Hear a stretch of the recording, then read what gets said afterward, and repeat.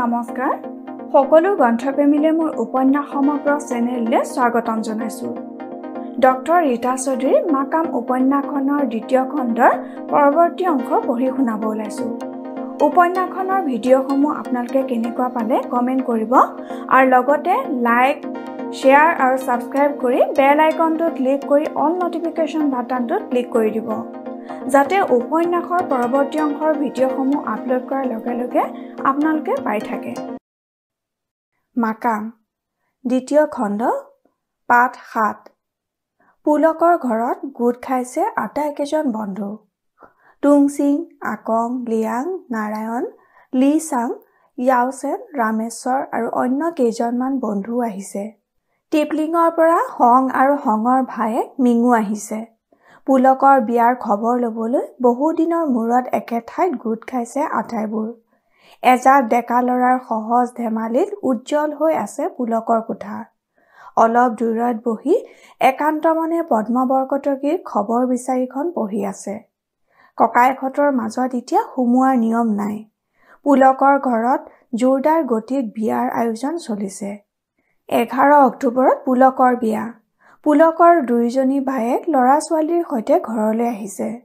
বিয়ালৈ বুলি অহা দূৰণিৰ আত্মীয়ৰে ঘৰখন ভৰি পৰিছে। বিয়াৰ খবৰ ল'বলৈ অহা মানুহ আৰু ঘৰুৱা আলহীৰ অহা যোৱা হাঁহি ধেমালি কথা বতৰাৰে মুখৰিত হৈ পৰিছে ঘৰখন। সেই আনন্দত ভাগ লোৱা নাই মাত্ৰ পুলকৰ দেউতাক মীনাৰাম বৰুৱাই। গম্ভীৰ মুখেৰে অকলে অকলে বাহিৰৰ চোতালত বহি আছে মানুহজন। আনকি পুতেকৰ এজনো বন্ধুকো তেওঁ আজি মাত লগোৱা নাই। ওচৰেদি ভিতৰলৈ সোমোৱা দেখিও নেদেখা ভাও জুৰিছে। মনত শান্তি নাই মীনাৰাম বৰুৱাৰ। আগতে পুলকৰ লগৰ চীনা ল'ৰাকেইজনক ভালেই লাগিছিল। আজিকালি দেখিলে খং উঠে। সিহঁতে বোধহয় চীনা ছোৱালীৰ লগত তেওঁৰ সোণ যেন ল'ৰাটোক লগ লগাই দিলে। ইমান নম্ৰ ভদ্ৰ ল'ৰা এই অঞ্চলৰ কেইজনৰ আছে। মদ ভাং নাখায়। মুখে মুখে তৰ্ক নকৰে ডাঙৰ সৰু মানি চলে অতি দায়িত্বশীল ল'ৰা। ঘৰৰ একো আজিকালি চাবই নালাগে মীনাৰাম বৰুৱাই। পুলকে নিজেই সকলো দায়িত্ব কাণ পাতি লৈছে। কি মোহিনীবান মাৰিলে বিজতৰীয়া ছোৱালীজনীয়ে? সি দেউতাকৰ মুখৰ ওপৰত ক'ব পৰা হৈ গ'ল তাইক বিয়া কৰাবলৈ নিদিলে পলুৱাই আনিম। ঘৰ এৰি বাগানৰ কোৱাৰ্টাৰত থাকিম। পুতেকক ছোৱালীজনীৰ পৰা আঁতৰাই আনিবলৈ বহুত চেষ্টা কৰিছিল তেওঁ। ঘৈণীয়েক পুতেকৰ ফলীয়া নোহোৱা হ'লে হয়তো বিয়াখন নহ'লহেঁতেন। কিন্তু বিয়াৰ পিছত এই প্ৰথমবাৰ ঘৈণীয়েকে মীনাৰাম বৰুৱাক অমান্য কৰি একমাত্ৰ পুতেকৰ কাৰণে চীনা ছোৱালী আনিবলৈ উঠি পৰি লাগিল। এতিয়া আৰু একো কৰাৰ উপায় নাই। কি হ'ল হেৰি? আজি বাতৰি নুশুনে নেকি? ঘৈণীয়েকৰ মাত শুনি মীনাৰাম বৰুৱা চোতালৰ পৰা খৰ খোজেৰে বহা কোঠালৈ উঠি আহিল। ৰেডিঅ'ত তেতিয়া বাতৰি পঢ়া আৰম্ভ হৈছিল। ভিতৰলৈ সোমায়েই থমক খাই ৰ'ল মীনাৰাম বৰুৱা। সীমান্তৰ বাতৰি দিছে। এখন টেক মনে মনে ৰৈ থাকি ৰেডিঅ'টো লৈ পুলকৰ কোঠাৰ ওচৰৰ কোঠাটোলৈ উঠি গ'ল মানুহজন।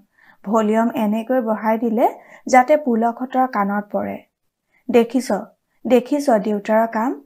তহঁতক জ্বলাবৰ কাৰণে ৰুমৰ ওচৰলৈ আহি ৰেডিঅ' বজাইছে।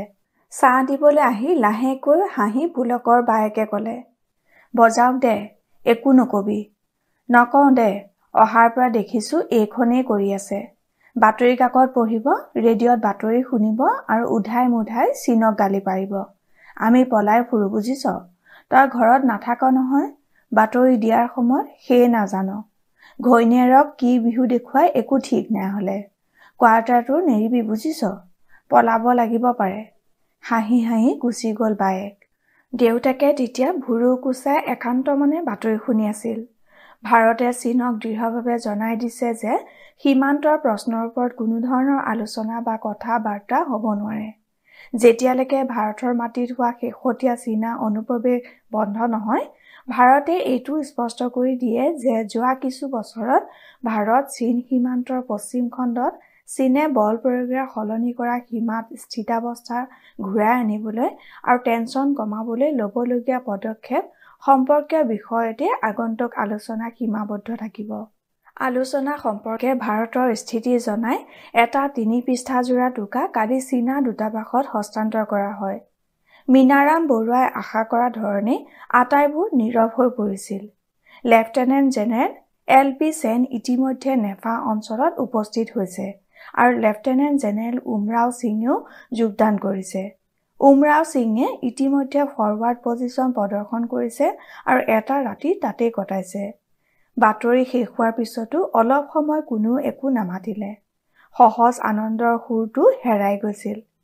এটা সময়ত টুংচিনে নিৰৱতা ভংগ কৰি চিন্তিতভাৱে ক'লে এনেকৈ যদি চলি থাকে যুদ্ধ লাগিবই লাগিলে পৈমাল এখন হ'ব আৰু। নাৰায়ণে ক'লে আমাৰ বুঢ়াবোৰে আলোচনা কৰি থকা শুনিছোঁ। আমাৰ বোলে বিপদ হ'ব পাৰে লি চাঙে ক'লে। এহ থ কি বিপদ হ'বলৈ আছে? তহঁতে ভাৰত আক্ৰমণ কৰিছ নেকি? ব'ল যাওঁ ব'ল। ৰামেশ্বৰে থিয় হ'ল। মিঙে তেতিয়া একান্ত মনে খবৰ বিচাৰি পঢ়ি আছিল। তোমাক কিতাপ লাগে যদি লৈ যোৱা। পুলকে ক'লে মিঙৰ মুখখন পোহৰ হৈ উঠিল। সি আশাৰে অনুমতি বিচাৰি ককায়েকলৈ চালে। তালৈ চাব নালাগে লৈ যোৱা পুলকে ক'লে।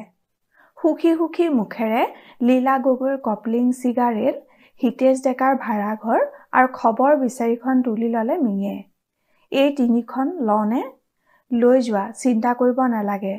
পুলকে কিছুদিন কিতাপ চিতাপ নপঢ়ে ৰামেশ্বৰে হাঁহি উঠিল। অলপ সময় ধেমালি কৰি আটাইবোৰ ওলাই আহিল। মাকুমত পূজা চাবলৈ যাব তাৰ পৰা যাব হোৱাঙৰ ঘৰলৈ। ঢাকৰ শব্দত তেতিয়া মুখৰিত হৈ আছিল অসমীয়া দুৰ্গা পূজা কমিটিয়ে আয়োজন কৰা দুৰ্গা পূজাৰ থলী। গোসানীৰ সন্মুখত দুহাতে ধূনাৰ পাত্ৰ লৈ নাচি নাচি আৰতি কৰি আছিল দুজন ডেকা ল'ৰাই। ৰঙীন সোণ পাপৰি সাপ বেলুন গেছ বেলুন পানী বেলুন জিলাপি খুৰমাৰ দোকানেৰে ভৰি পৰা পূজাথলীত ভিৰ দি বাট নোপোৱা ভিৰ লাগিছিল। ইউই মণ্ডপত আছিল। পুলকহঁতক দেখি দৌৰি আহিল। কি খবৰ ইউই আজি সঁচাকে পৰীৰ দৰে লাগিছে। ইমান ধুনীয়া ফ্ৰক কোনে দিলে? বাবাই দিছে। মায়ে কৈছিল পূজাত নিপিন্ধিবি। মেইলিন আছে বিয়াত পিন্ধিবি। সেইটো হ'ব পাৰে নেকি পুলক দাদা? পূজাৰ কাৰণেহে দিছে। বাবাই মাক খং কৰিছে। কৈছে মোক বিয়াৰ কাৰণে বেলেগ ফ্ৰক কিনি দিব। ঠিকেইতো মোৰ আজি মন বেয়া। মন বেয়া? কিয়? কোনেও মোক একো কোৱা নাই। অঞ্জলিহঁতৰ কাৰণে বেয়া লাগিছে। অঞ্জলি কোন? মোৰ লগত যে পঢ়ে আজি অঞ্জলিয়ে বহুত কান্দিছে জানে? মেহকে কান্দিছে। আচোন ৱং ছয় চবেই কান্দিছে। পূজাৰ আগৰে পৰা কান্দি আছে জানে? ইমান বুজাইছোঁ নুবুজে। কান্দি থাকে। মা বাবা কোনেও নিবলৈ অহা নাই যে সেইকাৰণে। বিষাদেৰে ক'লে ইউয়ে পুলকহঁতে কথাটো জানে। সিহঁতে ইতিমধ্যে স্কুললৈ আহি শিক্ষকসকলৰ লগত কথা পাতি গৈছে। নিজৰ মাজত পইচা তুলি হোষ্টেলত থকা ল'ৰাবোৰক পূজাত কাপোৰ দিয়াৰ ব্যৱস্থা কৰিছে। চীনাপত্ৰীৰ মানুহবোৰে এইকেইদিন ল'ৰাবোৰক হোষ্টেলত ভাত খাবলৈ দিয়াই নাই বুলিব পাৰি। আজি আমাক হুৱাং বুঢ়াৰ ঘৰত ভাত খাবলৈ মাতিছে। আপোনালোকে যে কাপোৰ দিছে ক ফুকহঁতে খুব ভাল পাইছে। কৈছে তোৰ দাদাবোৰ ইমান ভাল তুমি বৰ ভাল ছোৱালী ইউই যোৱা সিহঁতৰ ওচৰলৈ যোৱা। পুলকে মৰমেৰে ক'লে মেইলিন আছেক লগ পাইছে? সৌৱা সৌ তাত আছে মাতি দিম। নালাগে হুৱাঙৰ ঘৰত লগ পাবই। বিয়া ঠিক হোৱাৰ পৰা মেইলিনৰ দৰে পুলকৰো কিয় জানো লাজ লাজ লাগি আছে। মানুহৰ সন্মুখত মেইলিনৰ লগত কথা পাতিব লগা হ'লে পুলকো আজিকালি ৰঙা চিঙা পৰি যায়। ৰভাতলত তেতিয়া কৌশল্যা মেইহাং আলন চিউ আহলিন চিত্ৰৰ ঘৈণীয়েকে বেলা ভনীয়েক জুমা আৰু মেইলিনে একেলগে থিয় হৈ আৰতি চাই আছিল। তুমি কিবা খুজিলানে মেইলিন? বেলাই সুধিলে। ভগৱানক খুজিব পাই জানো? নৱমীত বোলে যি খোজে তাকে পায় কৌশল্যাই ক'লে। হয় মই তেনেহ'লে সংগক খুজিম। ৰ সেৱা কৰি কৈ লওঁ। হাঁহি হাঁহি সেৱা কৰিলে যদিও শেষলৈ যেন মগ্ন হৈ পৰিল মেইহাং হং কোন? কৌশল্যা আচৰিত হৈ সুধিলে মেইহাঙে মিচিক মাছাক হাঁহি আছে। তোৰ সকলো কথাত ধেমালি। ক বুলিছোঁ ভালে ভালে ক। মেইহাঙৰ চুলিকোচাত খামুচি ধৰিলে চিউৱে কৈছোঁ কৈছোঁ চুলি এৰি দে। ভিতৰত চৰাই বাঁহ ভৰাই আনিছোঁ খুলি যাব। হাঁহি হাঁহি চুলিৰ পৰা চিউৰ হাত এৰুৱাই আনিলে মেইহাঙে। কিয় নক জান? ক'লে তই নিৰ্ঘাত থপিয়াই লৈ যাবি। সেইদিনা মোৰ অ এটিন স্ন'টোৱে থপিয়াই লৈ ঘূৰাই নিদিলি। তেতিয়াই ঠিক কৰিছোঁ তোক নকওঁ। বিশ্বাস নাই তোৰ। মা দুৰ্গাৰ শপত কাঢ়ি নিনিও। ক না কোন হওঁ? ঠিক আছে তেনেহ'লে সেইটো চা। পুলকৰ ওচৰত থিয় হৈ আছে। এই যে গোলাপ জামুৰ নিচিনা ল'ৰাটো গোলাপ জামু? আলান জুমা কচেল্লাহত হাঁহিত উঠলি উঠিল। ৰভাতলৰ মানুহবোৰে ঘূৰি ঘূৰি চাইছে। সকলোৰে মন সেই হাঁহিৰ ঢৌৱে চুই গৈছে। এয়া পূজাৰ থলী উৎসৱৰ থলী। ইয়াত আনন্দই ৰামধেনু হাতেৰে সকলোকে চুই যায়। ইয়াত হৃদয় হৈ পৰে সামান্য বতাহতে হালি জালি নচা কহুৱা বন। ঐ আহলিন চা চা অনন্ত। আহলিনক লাহেকে ঠেলি দি মেইহাঙে অনুচ্চ সুৰত হাঁহি উঠিল। যাহ কি যাহ লাজ কৰিব নালাগে। যা মাত দিয়া। ৰাতি টোপনি নাহিব নহ'লে। অনন্ত ইতিমধ্যে আগবাঢ়ি আহিছিল। লাজ লাজকৈ কেইখোজমান আগবাঢ়ি গ'ল আহলিন। কি? ৰঙা চিঙা পৰি আহলিনে সুধিলে। কি মানে? মোক দেখি আছা তথাপি অহা নাই যে। চবেই চাই আছে দেখা নাই। দেখিলে কি হ'ল? লগৰ ল'ৰাক মাতিবও নাপায় নেকি? কৌতুকত চিকমিকাইছে অনন্তৰ চকুযোৰ। অনামিল আৱেগেৰে ঢৌৱে থৌকি বাথৌ কৰি থকা মাত্ৰে আহলিনে ক'লে ইহ লগৰ ল'ৰা বুলিহে মাতিছে যেন।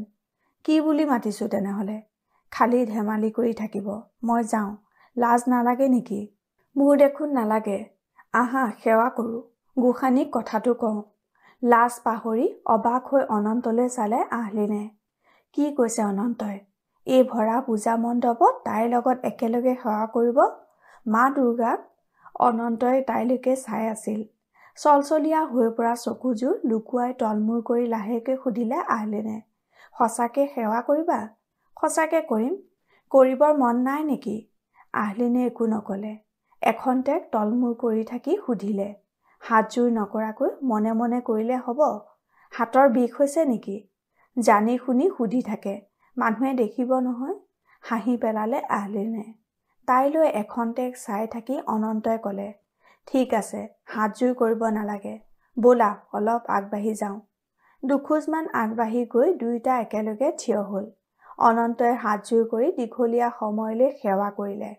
সেই সময়খিনি চকু পানী ৰোধ কৰিবৰ চেষ্টা কৰি কৰি মা দুৰ্গাৰ মুখলৈ চাই ৰোল আহলিনে। সেৱা কৰি উঠি মুখৰ পৰা আৱেগৰ ৰং মচি নিজৰ বিয়াহিকতালৈ উভতি গ'ল অনন্ত। পূজা বুলি পঢ়া শুনা এৰিলা নেকি? নাই এৰা। কটন কলেজত পঢ়িবলৈ যাব লাগিব। মনত ৰাখিবা। ভালকৈ পঢ়া। একেলগে যাম। জয়লৈকে যাম একেলগে যাম। নাযাওঁ বুলিলে ধৰি লৈ যাম। কি ভাবিছা? আহলিনে হাঁহিছে? তাইৰ চকুত জিলমিলাইছে সপোন আৰু আনন্দ। এনেও তাই অলপ কথাতে হাঁহে। অলপ কথাতে কান্দে। অনন্তৰ লগততো গহীন হৈ থাকিবই নোৱাৰি। এনেকৈ কথা কৈ নাহাঁহি নোৱাৰি। যাবলৈ ওলোৱা আহলিনৰ হাতত টিপতে সৰুকৈ ভাজ কৰা কাগজ এখিলা দি লাহেকৈ সুধিলে অনন্তই মোৰ ভাগৰটো? যাহ ৰঙা চিঙা পৰি পলাই আহিল আহলিন। কি যে অনন্তটো? এই পূজা মণ্ডপত চিঠি দিছে তাৰ লাজ ভয় একো নাই। ঠিকাদাৰ মানচুং হুৰ ঘৰত বৈঠকখানাত তেতিয়া পূজাৰ পাৰ্টি জমি উঠিছিল।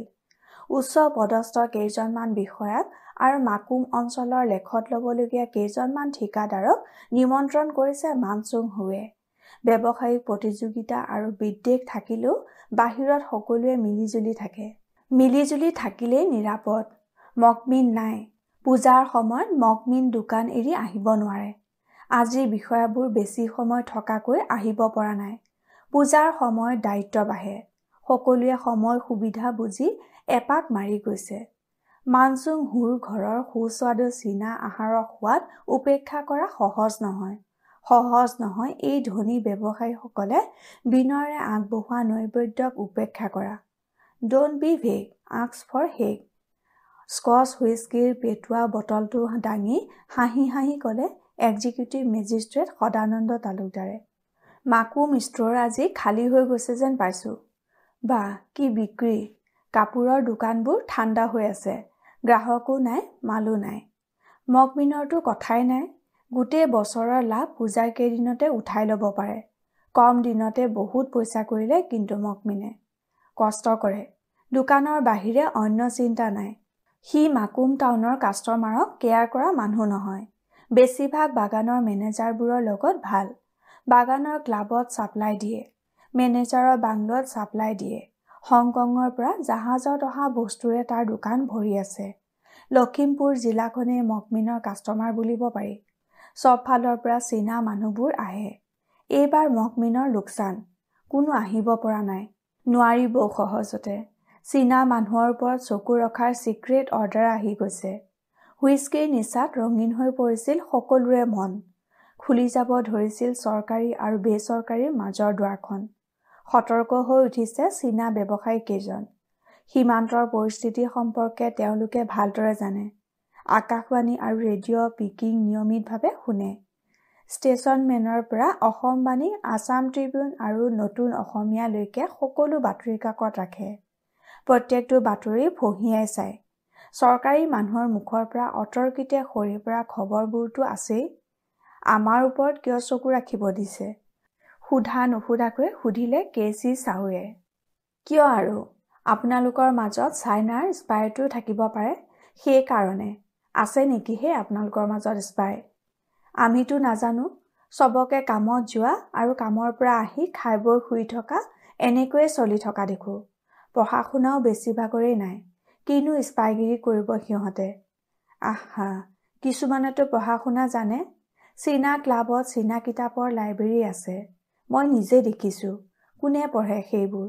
স্কুলৰ মাষ্টৰবোৰেই পঢ়ে। চীনা পত্ৰিতো কোনোবা কোনোবাই পঢ়ে। সেইবোৰৰ মাজত চীনৰ স্পাই নাই বুলি আপোনালোকে ক'ব নোৱাৰে। কে চি চাও মনে মনে থাকিল। সকলোৱে সদানন্দ তালুকদাৰলৈ চোৰাং চকুৰে চাইছে। তালুকদাৰৰ নিচা বেছি হৈ আহিছে নে নিচা বেছি হোৱাৰ ভাও ধৰিছে ধৰিব নোৱাৰি। চীনা বসতিবোৰত যে বৰ্তমানে দেখিলে চিনি নোপোৱা চি আই ডিৰ মানুহ খবৰ উলিয়াবলৈ ঘূৰি ফুৰে সেই কথা অনুমান কৰিব পৰা বুদ্ধি এই আটাইকেইজন চীনা ব্যৱসায়ীৰে আছে। কিন্তু নিজৰ নিৰাপত্তা বিঘ্নিত হ'ব পাৰে বুলি এতিয়ালৈকে এজনেও ভবা নাই। ভাবিব লগা কথাও নহয়। এই অঞ্চলৰ সকলো চৰকাৰী মানুহে তেওঁলোকক চিনি পায়। তেওঁলোকতো আজিৰ মানুহ নহয়। এই মাটিত তেওঁলোকৰো পিতৃ পুৰুষৰ হাড় পোত খাই আছে। ভাৰতৰ নাগৰিক তেওঁলোক। মূৰৰ ঘাম মাটিত পেলাই তেওঁলোকে এডুব দুডুবকৈ উন্নতিৰ জখলাৰে বগাই আহিছে। সেই উত্তৰণত চৰকাৰী মানুহবোৰৰ সহায় পাইছে তেওঁলোকে। বিনিময় তেওঁলোকেও আগবঢ়াই আহিছে দিব পৰা সকলোখিনি। চীনাবোৰে বৰ ভাল ভাল খোৱা বস্তু ৰান্ধিব পাৰে দেই। আমাৰ পিনে কিন্তু মানুহে এইবোৰ নাখাব। দেখিলে অদ্ভুত লাগে।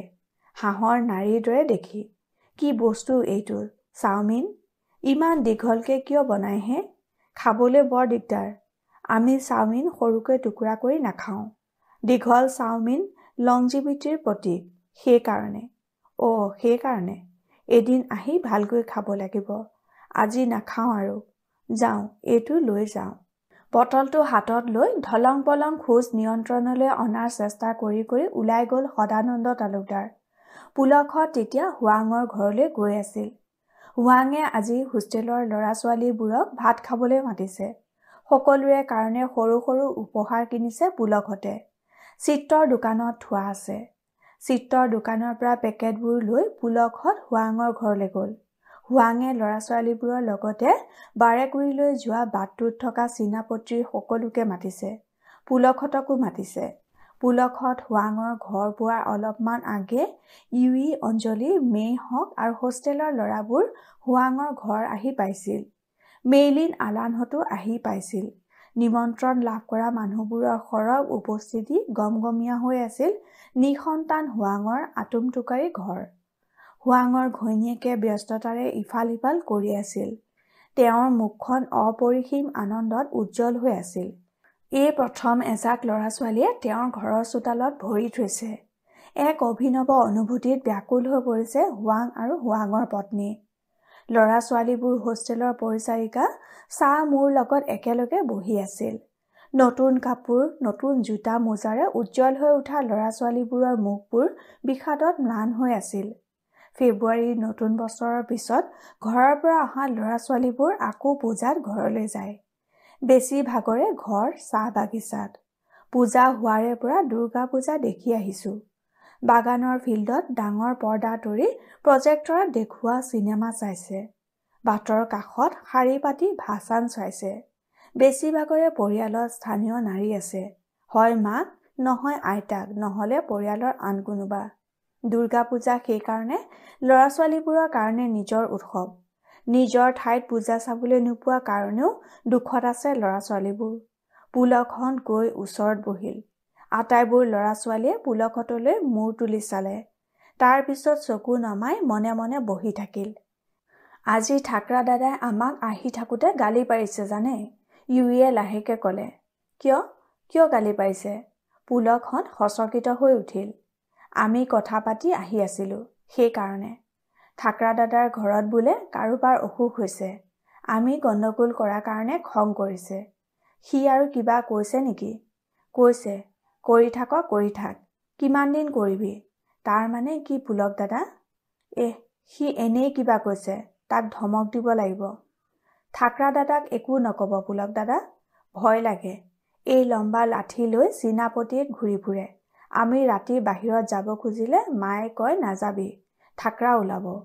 ঠাকৰা দাদা কিবা ভূত নেকি? কওকচোন পুলক দাদা।